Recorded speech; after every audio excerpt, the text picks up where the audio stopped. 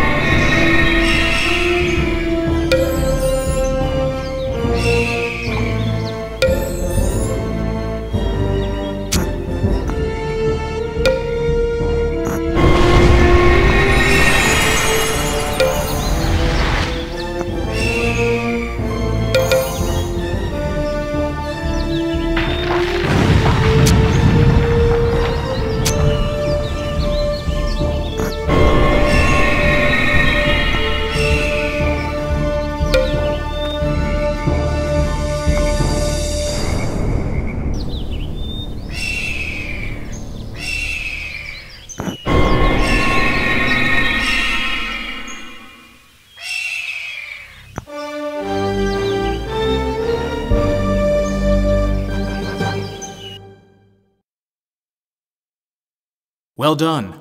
Phobus's assassins are no more, and his tricks of deceit and intimidation have failed him. The ancient races withdraw their support in favor of the bright elf queen who fights with her people on the front lines of the battlefields. While Phobus continues to flee and hide behind great walled fortresses, churning up hate and fear to motivate the people, Queen Julia stands stalwart against the invaders. Thanks to your efforts, she remains safe. Phobus's plot is spoiled. The moldering bodies of his traitorous heroes shall nourish the crops of Urland Field.